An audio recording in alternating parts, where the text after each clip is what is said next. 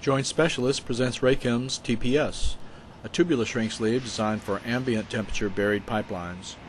The TPS sleeve is slipped over the pipe end before a weld is made.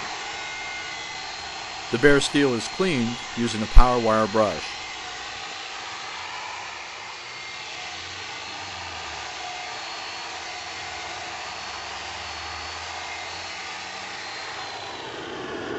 The pipe is preheated to a hand hot temperature, about 140 degrees Fahrenheit.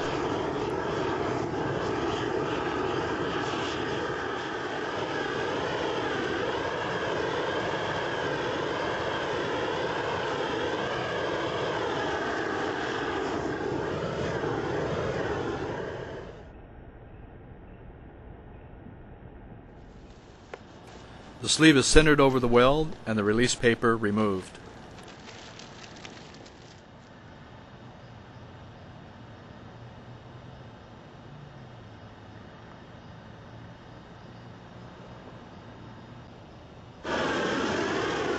The sleeve is heated beginning in the center over the weld. It's heated around the entire circumference until the sleeve conforms to the pipe.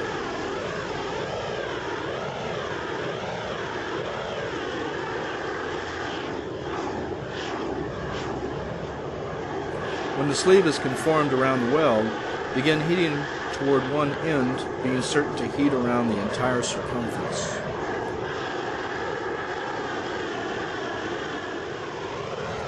After completing one end, move the torch back to the center and shrink toward the opposite end.